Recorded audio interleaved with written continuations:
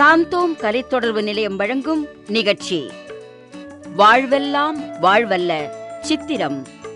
எழுதியவர் சாம்சன். இறைமகன் இயேசு தாம் வாழ்ந்த காலத்தில் உவமைகள் வழியாய் அரிய பல நல்ல கருத்துக்களை மக்களுக்கு போதித்து வந்தார். அவற்றில் ஒரு உவமையினை இப்போது உங்களுக்கென படைக்கிறோம். யாராகு? எசமா வாங்க எசமா. என்னங்க எசமா? ஒண்ணுமில்லப்பா. நம்ம வயல்ல விதப்பெல்லாம் எப்படி நடக்குதுன்னு பார்த்துட்டு போலாம்னு தான் வந்தேன். முடிய போகுதுங்க. வேலையாளுகளுக்கு கூலி கொடுக்க வேண்டியது தாங்க பாக்கி. ஏன்பா விதையோட தரமெல்லாம் பார்த்து தானே விதைச்சிங்க? நல்ல தரமான விதைங்க.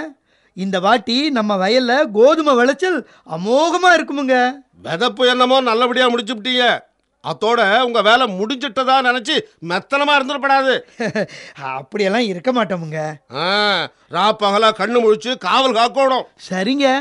காவலுக்கு நல்ல ஆளா போடு. கூலி எவ்வளவு ஆனாலும் பரவாயில்ல. உத்தரவு எசமா இந்த மகசூல் உன்னை நம்பித்தான் இருக்கு. கோட்டை விட்டு விடாத. நீங்க கவலைப்படாதீங்க எசமா நான் பாத்துக்கிறேன். டேய் ஏனோக்கு. அண்ணே. இந்த பாரு. உன்னை நம்பி வயக்காட்டு காவலுக்கு விட்டுட்டு போறேன் ஒழுங்கா காவல் காக்கணும். அதெல்லாம் நான் பார்த்துக்கிறேன் நீங்கள் கவலைப்படாதீங்கண்ணே ராத்திரி நேரத்தில் தூங்கி கீங்கி தொலைச்சிடாதப்பா. எக்கச்சக்கமா ஏதாவது ஒன்று ஆச்சுன்னா எசமா என்னை உண்டு இல்லைன்னு ஆக்கி விடுவாரு. அதெல்லாம் ஒன்றும் ஆகாது. நீங்கள் கவலைப்படாமல் போங்க?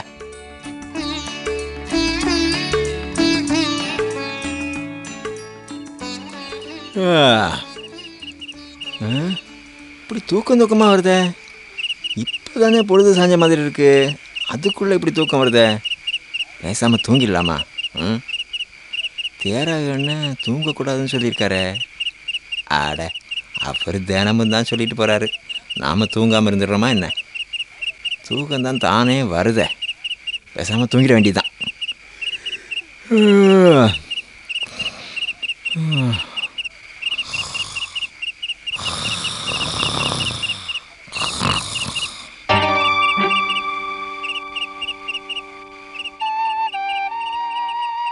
எசமா நாம எதிர்பார்த்த மாதிரி காவலுக்கு வச்ச ஆளுங்க நல்லா தூங்குறானுங்க. அப்படியா? நம்ம காரியத்தை கச்சிதமா முடிச்சு போடலாமா? டேய் ஜாக்கிரதடா. நம்ம ஆளுங்களை வயக்காட்டில் புகுந்து களையை விதைக்க சொல்லுடா. ஆகட்டுமுங்க. பயிரோடு சேர்ந்து களைகளும் வளரட்டும். களையை பிடுங்குறான்னு என் எதிரி அவன் ஆளுங்களோட சேர்ந்துக்கிட்டு பயிரே சேர்ந்து பிடிக்கிடுவான் அப்புறம் என்ன? இந்த முறை கோதுமை மகசூல் நஷ்டம்தான். உங்க எதிரியை ஒழிக்க நல்ல யோசனைங்க ஏசமா சும்மா பேசி பொழுதுபோக்காம காரியத்தை கவனிடா. விடியறதுக்குள்ள காரியம் முடிஞ்சாயிருன்னு கச்சிதமா. முடிச்சு போடுறேனுங்க.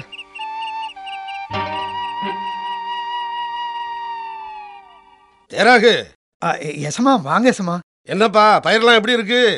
பயிர் வளர்ந்து கதிர் விட்டு இருக்குங்க என்ன மகசூல் எப்படி இருக்கும்னு நினைக்கிற? ஆ, அது வந்து எசமா இந்த பயிரோட சேர்ந்து எப்படியோ தெரியல களையும் வளர்ந்துக்கிட்டு வருதுங்க. அப்படியா?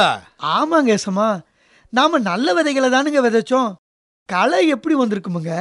எல்லாம் என் எதிரியோட வேலையா தான் இருக்கு. என்ன சொல்றீங்க எசமா என் எதிரியோட ஆளுங்க பயிருக்கு நடுவுல களைய விதைச்சிட்டு போயிருப்பானுங்க. அது எப்படிங்க முடியும்? நம்ம ஆளுங்க காவ காக்கும் போது ஒருத்தன் வந்து நம்ம வயல்ல காலை வச்சிட முடியுங்களா? ஆ, உன் ஆளுங்க தூங்கும் போது வந்து விதைச்சிட்டு போயிருக்கலாம்ல. ஆ, எசமா நீ காவலுக்கு வச்ச ஆளுங்களோட லட்சணம் அப்படி இருந்திருக்கு. ஆ, இந்த ஏனாக்கு பயல நம்பினது பெரிய தப்பா போச்சு எசமா அவனை என்ன பண்றேன் பாருங்க. முடிஞ்ச கதையை பத்தி என்ன இப்ப? நடக்க வேண்டியதை பாப்போம் நடக்க வேண்டியது என்ன எசமா பேசாம களையெல்லாம் இப்பவே பிடுங்கி எறிஞ்சிட வேண்டியதா இந்த தப்ப நாம பண்ணணும்னு தான் என் எதிரி களைய விதைச்சிட்டு போயிருக்கான். என்ன எசமா சொல்றீங்க? தேராகு நீ இப்ப களைய பிடுங்கன்னா கூடவே கோதுமை பயிரையும் சேர்த்து பிடுங்க வாய்ப்பு இருக்கு. அதனால மகசூல் பாதிக்கும். அப்படி பாதிக்கணுங்கிறதுக்காகத்தான் என் எதிரி இந்த வேலையை செஞ்சிருக்கிறான். ஓஹோ. அப்படிங்களா விஷயம்? அப்படின்னா இப்ப என்ன பண்ணலாம்னு நீங்களே சொல்லுங்க எசமா இப்ப வளர்ற மாதிரியே கோதுமையும் களையும் ஒண்ணாவே வளரட்டும். அறுவடை நேரத்துல அறுவடை செய்யறவங்க கிட்ட முதல்ல களையெல்லாம் பறிச்சு எரிக்கிறதுக்காக கட்டுக்கட்டா கட்ட சொல்லுங்க. அப்புறமா கோதுமையை அறுவடை செஞ்சு என் களஞ்சியத்துல சேர்த்து விட சொல்லுங்க. சரிங்க எசமா இறைமகன் இயேசு இவ்வுவமையின் வழியாய் என்ன கூற விழைகிறார்? வயல் இவ்வுலகம். நல்ல விதைகளை விதைப்பவர் இறைமகன். நல்ல விதைகள் கடவுளின் ஆட்சிக்கு உட்பட்ட மக்கள். களைகள் தீயோனை சேர்ந்தவர்கள். அவற்றை விதைக்கும் பகைவன் அலகை அதாவது சாத்தான். அறுவடை உலகின் முடிவு. அறுவடை செய்வோர் வானதூதர். வானதூதர் இரையாட்சிக்கு தடையாக உள்ள அனைவரையும் நெறிகட்டோரையும் ஒன்று சேர்த்து தீச்சூளையில் தள்ளுவார்கள். நேர்மையாளர் இறைவனின் ஆட்சியில் கதிரவனைப் போல ஒளி வீசுவர். இறைமகன் இயேசு அன்று கூறிய உவமை இன்றும் நம் வாழ்வில் ஒரு படிப்பினையாக அமைந்திருக்கிறது. எப்படி? மனோஜ்? காஃபி சாப்பிடுறியா? வேண்டாங்க்கா இப்பதானே சாப்பிட்டேன். ஏண்டா? நீ பம்பாய்க்கு போய் அஞ்சு வருஷம் ஆகுது ஆமா. இத்தனை நாளா ஒரு லெட்டராவது போட்டியா? அதான் நேர்லயே வந்துட்டேனக்கா. அக்கா அக்கா. என்னது? இத பத்தியா? அஞ்சு சவரன் செயின் உனக்காக வாங்கிட்டு வந்திருக்கேன்க்கா. ஆ இதா பிள்ளைங்களுக்கு துணி. அத்தானுக்கு வாட்சு. எல்லாம் ஃபாரின் ரொம்ப வசதியா இருக்கேன்னு சொல்லு. சொந்தமா ஃப்ளாட்டே வாங்கியிருக்கேன். கார் வேற வச்சிருக்கேன்க்கா. எனக்கு என்ன குறைச்சல்? ம். வசதியா இருக்க சரி. ஆனா என்ன வேலை பாக்குறேன்னு சொல்லலையே? அது பிஸ்னஸ்க்கா ஏற்றுமதி இறக்குமதி. இல்லையே? ஏதோ கள்ளக்கடத்தல் கும்பல்ல தொடர்பு வச்சிருக்கதா கேள்விப்பட்டேனே. யார் சொன்னா? பம்பாயில தான் நமக்கு வேண்டியவங்க நிறைய பேர் இருக்காங்களேடா. ஆ சரி. எதுவா இருந்தா என்னக்கா? நிறைய பணம் வருது. வசதியா இருக்கேன். ஏண்டா? இத சொல்ல உனக்கு வெக்கமா இல்ல? என்னக்கா? திருடி பொய் சொல்லி சட்ட விரோதமான காரியங்களை செய்து சம்பாதிக்கிறதெல்லாம் ஒரு சம்பாத்தியமாடா. இப்படியெல்லாம் செஞ்சு லட்ச ரூபாய் சம்பாதிக்கிறத விட நேர்மையா உழைச்சு பத்து ரூபாய் சம்பாதிச்சா அதுதான்டா பெருமை. ஆமா நீயும் அத்தானு நேர்மை உண்மைன்னு சொல்லி என்னத்தை சேர்த்து வச்சிருக்கீங்க? ஆபீசர்னா பேரு. சொந்தமா ஒரு வீடாவது வாங்கி வச்சிருக்கீங்களா? அத்தான் கூட வேலை பார்க்குறவனெல்லாம் கை நீட்டி சம்பாதிச்சு ரெண்டு மூணு வீடு கட்டி ஓஹோன்னு இருக்கான். உனக்கு எவ்வளவு சின்னவண்ணா? நானே சொந்தமா வீடு காருன்னு வச்சிருக்கேன். என்ன பார்த்தாவது திருந்தணும்னு தோணாம எனக்கே புத்தி சொல்றியக்கா. இந்த வாழ்வெல்லாம் நிலைக்கும் நான் நினைக்கிறேன். ஏன்? ஏன்றேன்.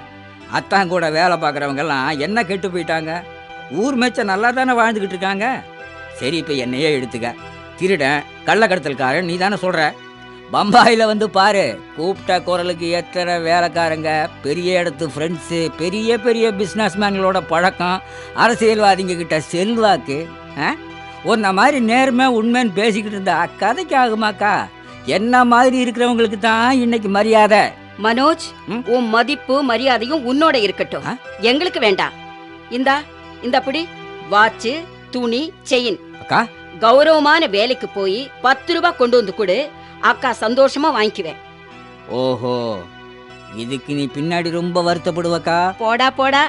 இந்த கள்ளக்கடத்தல் எல்லாம் விட்டுட்டு வெளியே சொல்லிக்கிற மாதிரி கௌரவமான தொழிலை பாரு. சரி நான் போறேன். என்னடா திடீர்னு? மரியாதை இல்லாத இடத்துல எனக்கு என்ன வேலை?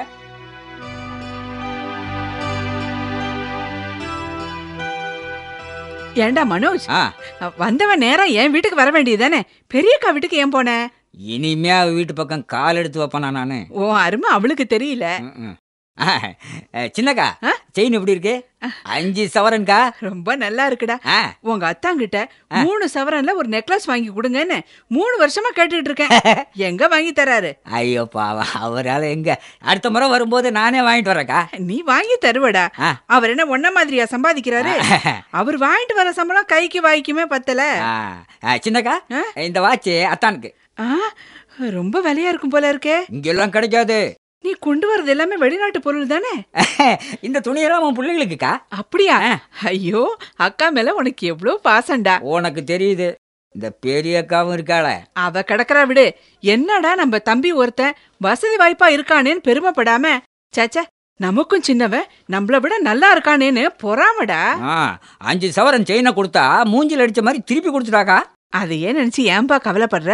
இனிமே நீ எப்ப வந்தாலும் என் வீட்டுக்கு தான் வரணும். சின்னக்கா? உனக்குன்னு தனியா வாங்கிட்டு வந்ததெல்லாம் இந்த பெட்டியில இருக்கு. இதையும் எடுத்துக்கோ. உன்ன மாதிரி ஒருத்தன் எனக்கு தம்பியா வச்சுது. நான் செஞ்ச அதிர்ஷ்டம்தான் ஆ? ஆ. பெரிய அக்காவுக்கு கொடுத்து வைக்கல.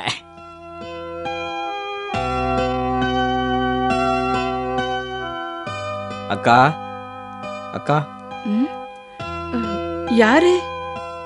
சின்னக்கா என்ன தெரியல? தெரியலையே. நான் தான் சின்னக்கா மனோஜ். மனோஜா என்னடா இது? தாடியும் மீசையும் பரட்ட தலையுமா வந்து நிக்கிற? அது வந்துக்கா கொஞ்ச நாள் ஜெயிலில் இருந்தேங்க அஹ், ஜெயிலா?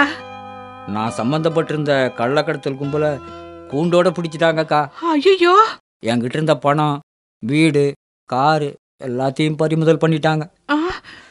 கொஞ்ச நாளைக்கு முன்னதான்க்கா ரிலீஸ் ஆனேன். கையில் காசு இல்லாமல் பம்பாயில் அலைஞ்சேன். அப்புறம் வேற வழி தெரியாமல் இங்கே வந்துட்டேன்க்கா. ஐயோ இந்த நிலைமையில ஏன்டா இங்க வந்த? அக்கா என்னக்கா? எப்போ வந்தாலும் நான் உன் வீட்டுக்கு தானக்கா வருவேன். நீ நல்லா வந்திருந்தா பரவாயில்லையே. ஜெயிலுக்கு போயிட்டுலாம் வந்தேங்கிற. உன்னை இந்த நிலைமையில அத்தான் பார்த்தா என்ன சொல்லுவாரு? அக்கா. ஒருவேளை உன்னை தேடி போலீஸே இங்க வந்துட்டா? இனிமே என்னை தேடி வரமாட்டாங்கக்கா. நீ சொல்ற. நான் எப்படி நம்புறது? போலீஸ் கிலேஸ் நீ ஏதாவது ஆகி அக்கம் பக்கத்துல தெரிஞ்சா ஊரே கேவலமா பேசுமே. என்னக்கா இப்படி சொல்ற? உன்னை விட்டா எனக்கு எனக்கு வேற யாருக்கா இருக்கா? பெரியவ இருக்காளே அவகிட்ட போலால அக்கா. மனோஜ் அத்தா வர நேரம் ஆச்சுடா உன் அக்கா நல்லா இருக்கணும்னு நினைச்சா தயவு செஞ்சு போயிடுப்பா. அக்கா. ஐயோ அவர் வர நேரமாச்சே நான் என்ன செய்வேன்? போறேன்க்கா. நான் நான் போறேன்.